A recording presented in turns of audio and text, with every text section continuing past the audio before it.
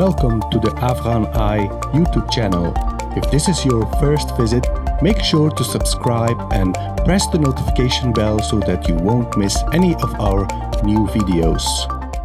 Assalamu alaikum. Welcome to episode 4 of the Afghan Brief, where we will be looking at the latest news from Afghanistan in 15 minutes. I'm your host Sangar Paikar, and I'm joined by my co host Ahmad Walid Kakar.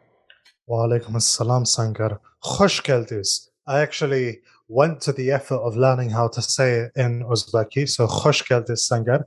And yes, it's the fourth episode. We will be covering the latest news from Afghanistan in 15 minutes.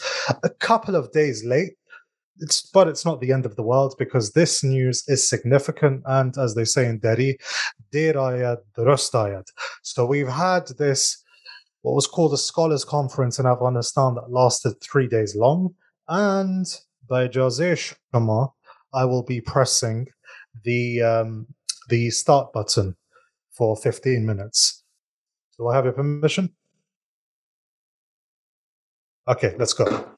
So, in our last episode, we did sort of an analysis of what to expect from this grand conference that was announced and uh, more than four and a half thousand uh, people were attending the conference. But now that the conference is behind us and we even have a document and a declaration uh, we need to put this in perspective. What did they actually do in kabul?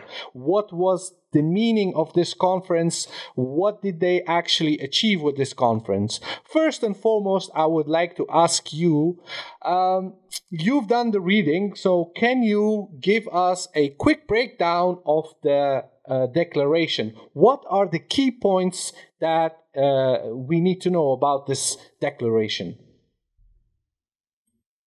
Sure. So the first thing, so there are 11 points in this declaration, and I'll walk you through them uh, just very briefly, sequentially, because these are ultimately the materialization of what was discussed. So, number one, the declaration describes this government as Islamic and Islami Nizam and declares its support for it. Secondly, it declares bay'ah or its oath of allegiance to the Amir Hibatullah Akhundzada, who also spoke at this uh, conference. Thirdly, it called for the release of relief of sanctions, unfreezing of assets to facilitate economic development. Fourthly, it announced its support for the drug combating measures of this government. Fifth, it called on the world to not meddle in Afghan affairs, ho- host hostile elements, and establish diplomatic relations with the government on the basis of mutual respect and principles of non interference. Fifth, sorry, sixth, it declared armed rebellion against this system as haram, religiously prohibited, and declared that fighting armed rebellion as religiously obligatory. It described Daesh, or I, sorry, seventh, it described Daesh as khawarij, or extremists and declared that assisting them in any way is religiously forbidden. Eighth, it called on ulama or religious scholars to avoid controversial issues in the media. Ninth, it called for justice, modern and religious education, and progress and development in industry, health, agriculture, and minority and children's rights in light of the Sharia. Tenth, it called for the government to take proper steps to alleviate poverty and unemployment and to defend ter- territorial integrity and strengthen national unity.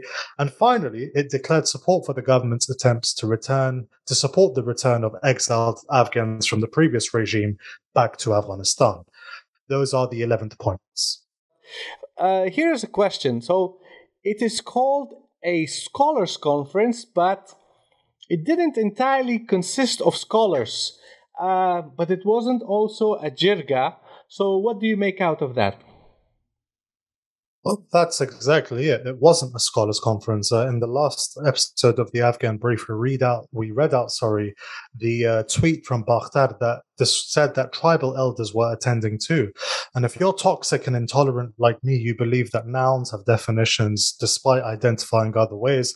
So someone eating steak every weekend is not vegan, and a conference with non-scholars, i.e., tribal elders, is not something you can call a scholars conference.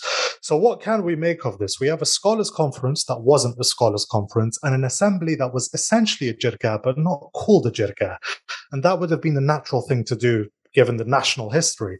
But could it be that by not calling it a jirga and by giving even this gathering a religious color, the government was attempting to preempt any criticism that it was implementing democracy or وَيَحْكُمُ بِمَا غَيْرَ أَنزَلَ اللَّهِ or ruling uh, in a way that Allah has not revealed? Uh, that's a criticism that's often leveled at it by those on the Daesh ISKP side of the spectrum. And the declaration did mention Daesh specifically, which indicates the government considers or the assembly considers Daesh some level of threat.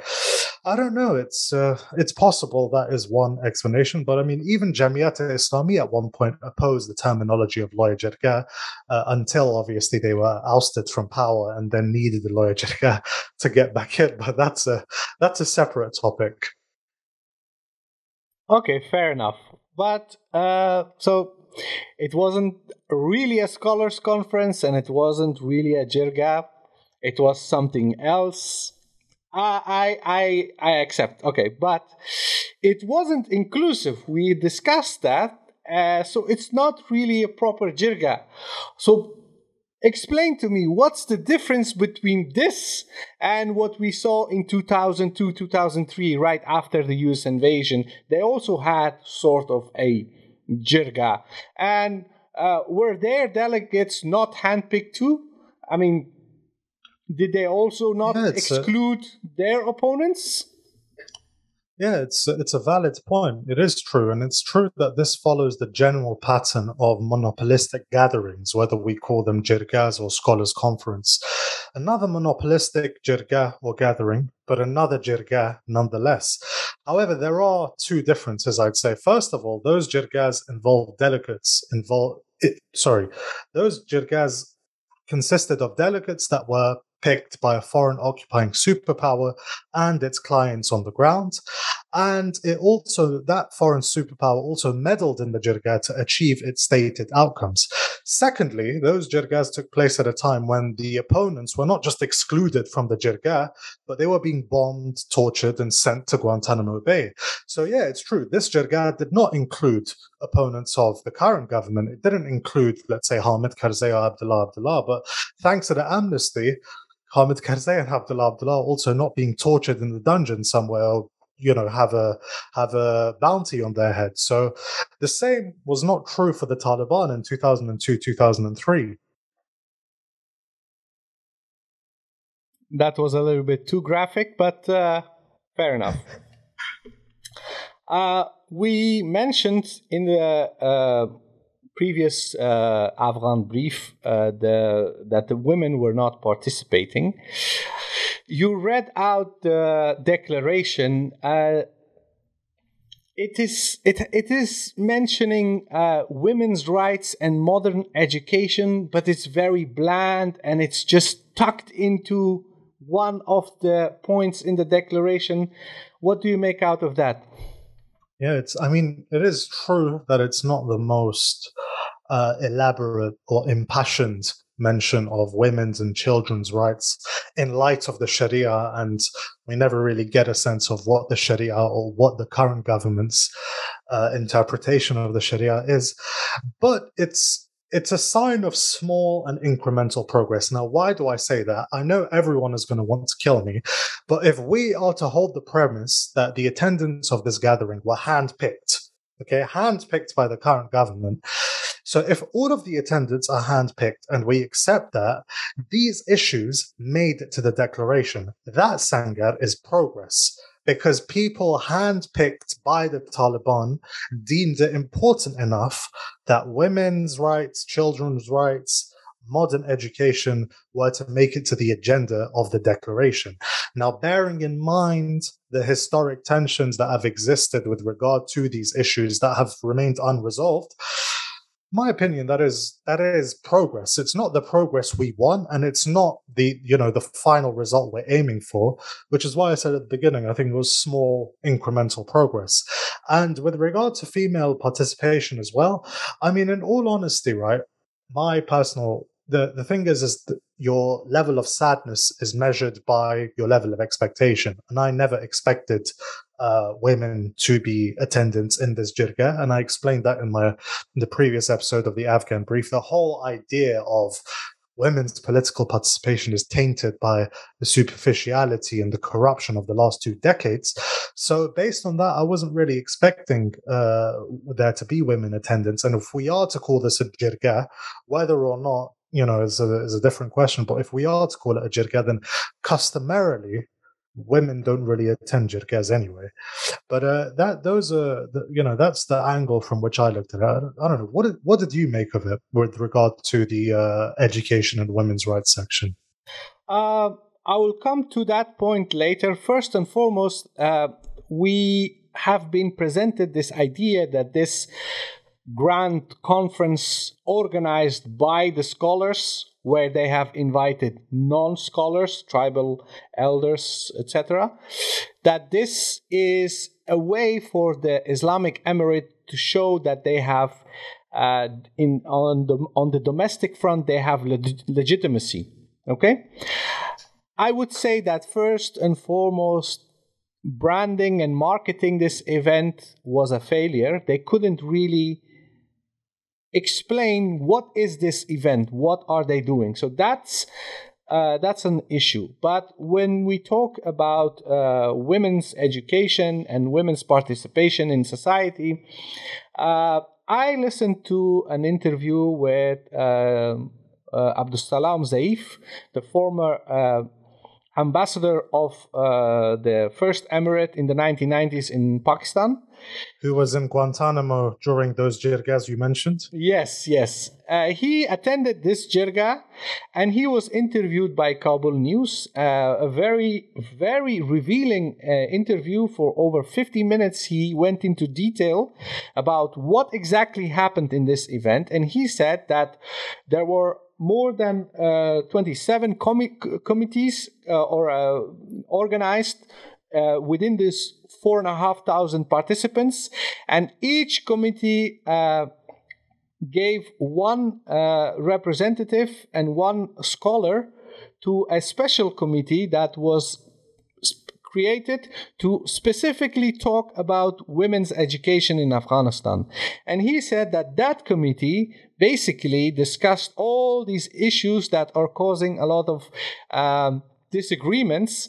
And he said that fundamentally nobody opposes women's education, but rather there are disagreements about the nature of education and the way that it needs to be conducted.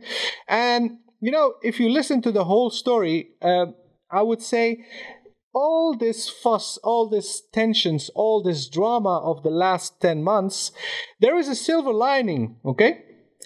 We have a country where women's education, women's participation in politics has always been very politicized. We have discussed this at length on Afghan Eye on multiple episodes. Uh, Maligned for it. Yes, but the, here's here's the truth. Once you cross the Rubicon, then there is no way back. Once, oh man, you can't be dropping Roman references like that. No, look, look, look, listen. Once this whole uh, drama about girls' education, once this behind us, and once those schools open, once all these old tensions and discussions are over, then we won't see any problems in future again because our society has moved past this uh, idea of a politicized nature of women's education and participation. And from that moment onward even the most conservative circles in the society will not object to any of that. So yes it is very depressing. It is very uh, difficult to uh, deal with this kind of uncertainty in Afghanistan. But I think that at the end of the day, once this whole uh, situation is behind us, we will have times where we will say, you know what, we're glad we're glad that we have that mm-hmm. behind us and that that chapter is closed forever. No, I 100% agree. And we have, uh, you know, speaking of Roman references, which I appreciate, by the way, another one, once, inshallah ta'ala, this is resolved, and it's not an irresolvable issue. And in the last podcast with Kahal, I also said as well, you know, when internal societal dynamics and mechanisms, you know, move forth, then the product of that can be more sustainable. Uh, and then at that point, we will say the die is cast as Julius Caesar once famously said. But I have one minute left, and in this one minute, I'm going to make a final point as well with regard to legitimacy. What we can understand this gathering as it is an attempt to formalize this current government's existence, right? However, if we are to talk about internal versus external legitimacy, I feel like we're going around in circles here because the supporters of this government say this government is legitimate by right of conquest, and the fact that that conquest was facilitated by local ceasefires, which were brokered by local tribal elders, which is, let's say, our Avran, Auran, democracy. The opponents of this government will say it has no legitimacy and it needs to have a consultative process by which it can gain legitimacy.